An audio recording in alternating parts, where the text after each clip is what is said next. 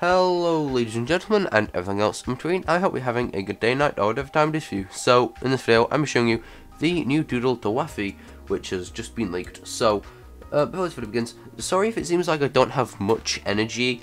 Uh, basically, all of my body is aching. Luckily, I'm still able to talk without it being just dreadful.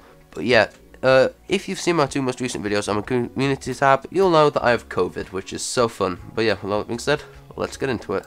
So then, uh, not too long ago now, Wish actually posted the new leak for the Doodle Dewaffe, which is a plant poison type and is on screen right now.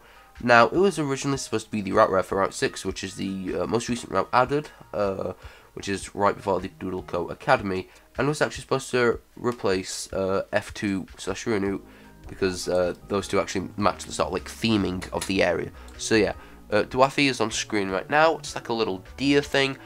I actually really like its design. It's adorable. It's nothing I'm too like, oh my god, Dewaffe, no way, I love it about. But you know, it's a cute design. I'm really excited to see what its evolutions look like.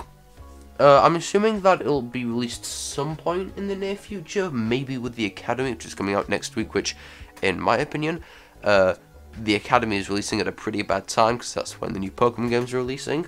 So, yeah, if I'm feeling any better by the Academy's release, I'll be sure to stream it, and also, I'll be sure to show you how you can evolve Dewaffe as well. So, yeah, of course, with all that being said, I hope you'll be having a good day, and night, or whatever time it is for you. See ya.